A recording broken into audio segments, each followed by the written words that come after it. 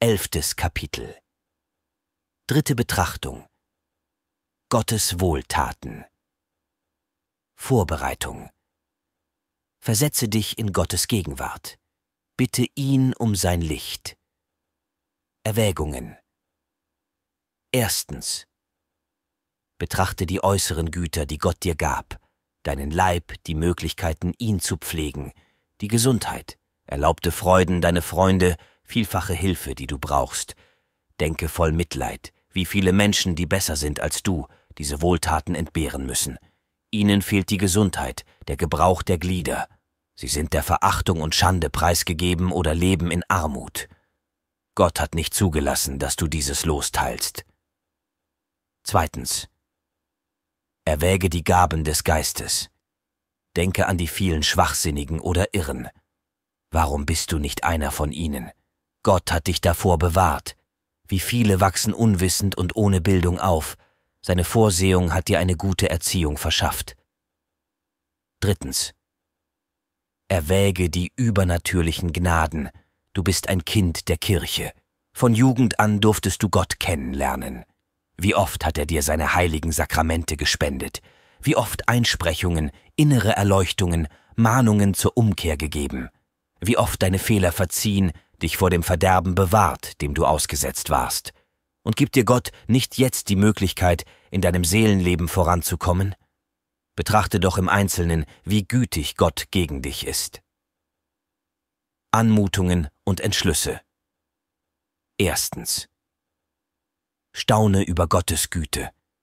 Wie gut ist doch Gott gegen mich, wie gut ist er. Wie reich an Erbarmen ist dein Herz, o oh Herr, wie freigebig an Güte. Meine Seele, wir wollen immer wieder davon sprechen, wie viel Gnade uns der Herr gewährt. Zweitens. Wundere dich über deinen Undank. Wer bin ich denn, o oh Herr, dass du meiner gedacht? Ich habe deine Wohltaten mit Füßen getreten, deine Gnade verunehrt, deine große Güte missbraucht und verachtet, deine abgrundtiefen Güte und Freigebigkeit meinen bodenlosen Undank entgegengesetzt. Drittens. Erwecke in dir Gefühle des Dankes. Wohlan, mein Herz, du darfst gegen deinen großen Wohltäter nicht mehr treulos und undankbar sein. Wie sollte meine Seele Gott nicht für alle Zukunft ganz gehören? Er hat in mir und für mich so viel Wunderbares an Gnaden gewirkt. Viertens. Entzieh also deinen Leib dieser oder jener Sinnenlust, um ihn dem Dienste Gottes zu weihen. Gott hat viel mehr für dich getan. Bemühe dich, Gott zu erkennen und ihm dankbar zu sein durch diese oder jene dafür geeigneten Handlungen. Gebrauche eifrig alle Mittel, die dir die Kirche an die Hand gibt, um dich zu retten und zur Liebe Gottes zu führen. Ja, ich will in Zukunft gern beten, die heiligen Sakramente empfangen, das Wort Gottes hören, seine heiligen Einsprechungen und Ratschläge befolgen.